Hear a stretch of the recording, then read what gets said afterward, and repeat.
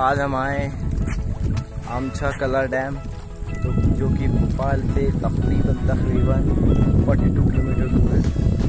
बयालीस किलोमीटर ये है डैम।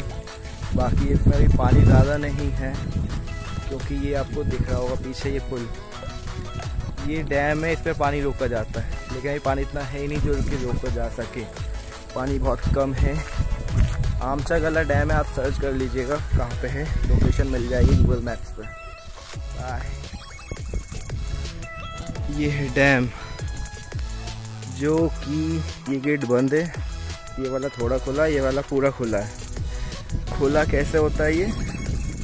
तो इसको मोड़ देते हैं, एक साइड से उठा के।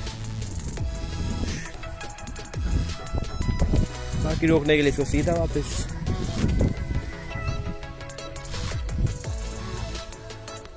सोच सकते हैं, इतना पानी होता है वो ये लेवल में आता है वो पानी रोकने के लिए। जो कि अभी बिल्कुल भी नहीं है। बहुत है, फिर भी।